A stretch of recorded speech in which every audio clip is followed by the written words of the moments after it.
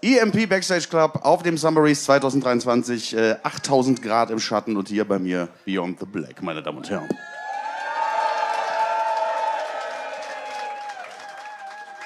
Hallo, hallo. Schön, dass ihr da seid. Wie geht's euch? Sehr gut, sehr Ja? gut. Wir sind erst angekommen, aber äh, wir freuen uns sehr auf alles, was heute kommt. Oh, ich habe noch so, das noch so eine frische Stimme. Ich finde das immer lustig an Tag 3 auf einem Festival. Ja. Wenn alle eigentlich eher schon so Richtung Horst Schlemmer langsam abdriften und dann kommen so frische Stimmen dazwischen. Das ist schön. Ähm, du warst umtriebig, ne? Du warst ja auch gerade erst in Wacken, hast da äh, moderiert und interviewt. Wie kam es denn dazu? Für Magenta machst du das, ne? Ja, ich habe das tatsächlich letztes Jahr schon mal gemacht. Und äh, ja, das hat mir sehr gut gefallen.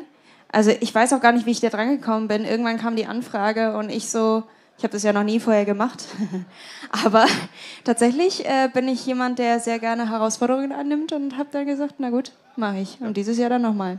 Du Impulse, sowas mehr zu machen? Vielleicht demnächst, weiß ich, eins, zwei oder drei? Ich hab, wetten, das sucht Leute, habe ich gehört. Also ich will mich schon auf Singen konzentrieren auf jeden Fall. Ähm, es ist im Laufe der Zeit zu so einer Standardfrage jetzt geworden, aber ich finde äh, die immer noch ja, zu Recht. Wie war das bei euch bei der, bei der ganzen pandemiebedingten Zwangspause? Was hat sich da, war, war das eher so eine kreativ, hat das euch gepusht? Oder war das so, dass ihr ein bisschen runtergefahren habt seid?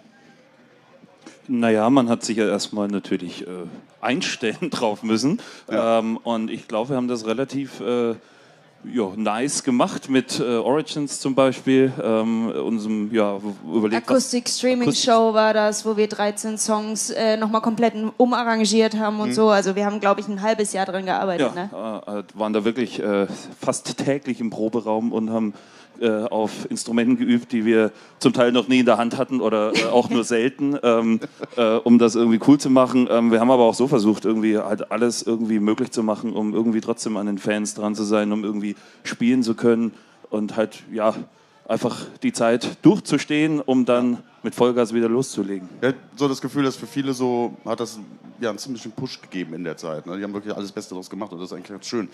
Ist das Album deshalb auch äh, self-titled? Weil das ist ja eigentlich immer so eine Standortbestimmung, wenn eine Band das Album nach sich selbst benennt. Ja, tatsächlich war das mit ein Grund, dass wir diese Zeit, die wir gefühlt zusätzlich hatten, ganz, ganz viel genutzt haben, um unsere Fans besser kennenzulernen und dadurch auch uns besser kennenzulernen und das, was uns ausmacht.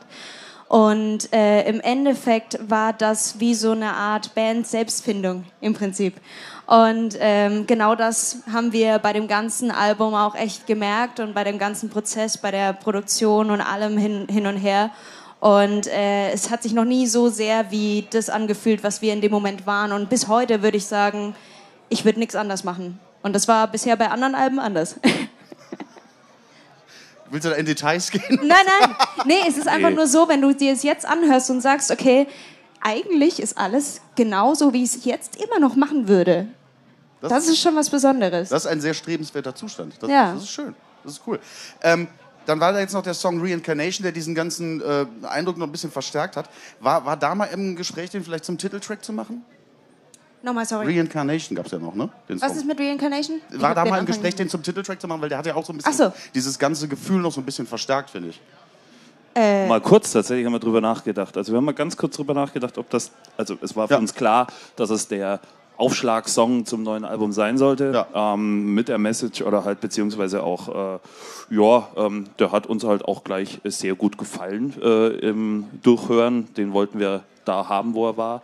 Und dann ging das natürlich durch unseren Kopf, aber prinzipiell äh, waren wir dann mit Beyond the Black Self-Titled einfach weitaus mehr am Punkt. Ja, Reincarnation war auf jeden Fall so ein Song, der ähm, wieder so eine super Kombi war aus allem, wo, wo man sagen konnte, okay, wenn man den Song hört, dann weiß man, worauf man sich einlasst, einlässt, wenn Ja. man dann das Album hört.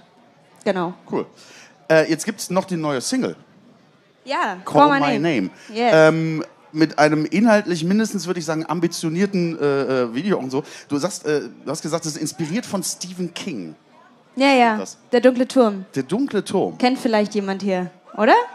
Ja. Sehr gute Bücher, sehr schlechten Film. Tatsächlich. ja, Das ist leider, Leider völlig versimpelt.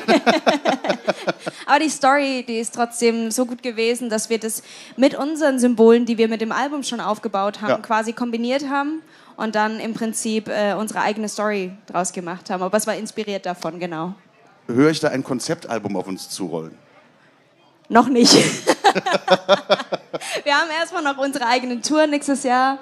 Ähm, das wird auf jeden Fall mit mehr Songs von unserem jetzigen Album quasi ja. sein. Aber natürlich werden wir bald anfangen und nochmal noch mal Gas geben mit Songwriting. Nice.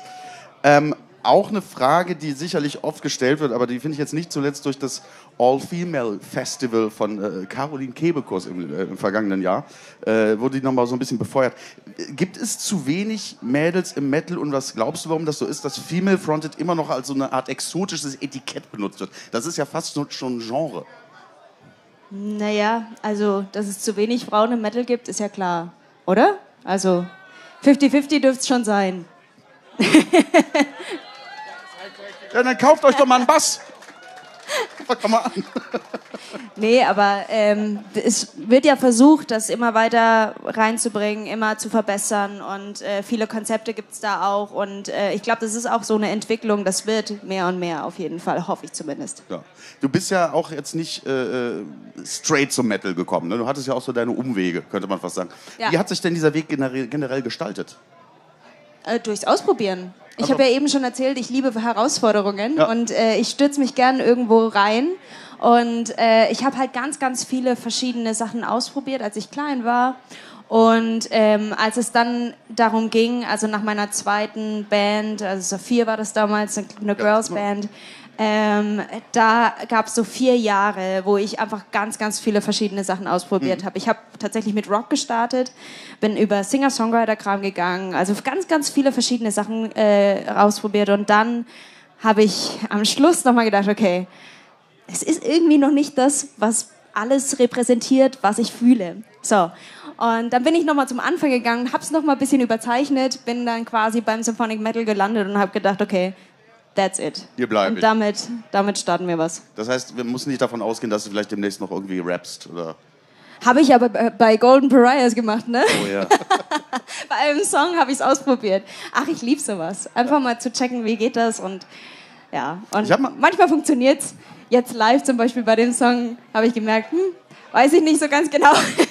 aber, aber, trotzdem ist es so, ich liebe das auszuprobieren und, und zu gucken, wo sind die Grenzen. Ich habe mal gelesen, dass Saphir nie offiziell aufgelöst wurde. Ist das so? Also meines Erachtens in meinem Kopf ja? war das so. Oder sehen wir da vielleicht noch eine Reunion? Nein, das glaube ich nicht. das glaube ich nicht. Ähm, es ist oft darüber gesprochen worden, aber man kann es ja auch immer ansprechen, dass du ja eigentlich, wenn man mal sich die Bandgeschichte anguckt, das einzige Gründungsmitglied bist, ursprüngliche. Ja. Ähm, fühlt sich das heute noch so für dich an? Naja, wie viele Jahre sind wir jetzt zusammen unterwegs? Sieben werden Sieben, es, glaube ich, ja. sieben, schon, sieben oder? Jahre. Ja. Also, also wir sind deutlich mehr als. Äh, ich glaube, neun Jahre gibt es uns jetzt insgesamt. Hauptanteilseigner am genau. Beyond Black äh, Jahresstrang. Sich, hältst du 25,1 so Prozent, muss man immer halten. Ach, das, das, das, ist, das fühlt sich eigentlich schon gar nicht so an, dass man sagt, okay, äh, es ist, also es hat sich ja alles total verwachsen mittlerweile und es ist einfach nie so gewesen, als wäre es jetzt, äh, äh, gäbe es einen anderen Teil von BTB. Also alles, was hier ist, ist 100% BTB. Cool. Und das ist also auch komplett Band. Es gibt keine Hierarchien oder wenn, dann gibt es flache Hierarchien. Oder ist die Jenny manchmal bossy? Ihr könnt das jetzt ruhig sagen. Könnt ihr ruhig sagen. Sonst, wenn ihr nicht Nein. dürft, gebt mir, gebt mir ein Handzeichen. Nein, nenn das Codewort. Nein, nee, ist alles super. Also ich glaube, das hat sich äh, sehr schön alles eingespielt und äh, ja, 100% BTB. That's it. Also neue Tour ist am Start.